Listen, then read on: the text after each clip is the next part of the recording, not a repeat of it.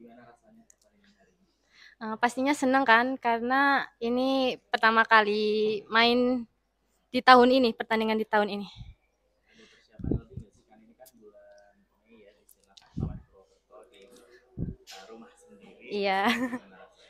Eh, pastinya senang dan keluarga juga nonton semuanya. Jadi kayak ingin membuktikan aja ke keluarga gitu. Tapi melihat lawan kali ini uh, sosok Bilkis yang mungkin juga banyak orang Iya. tahu ya.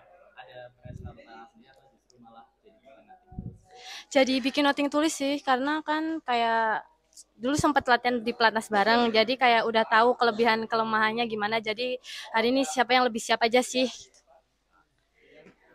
Tadi ada hal-hal yang pengen apa namanya yang kurang puas ya sih atau yang banyak diantisipasi sendiri oleh Bilkis sendiri.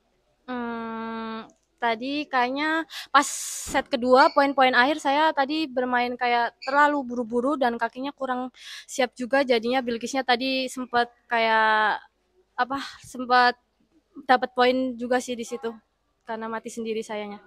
Tips awal panas dari awal gimana sih? Soalnya tadi kan sempat mimpin 11-3 ya. Iya.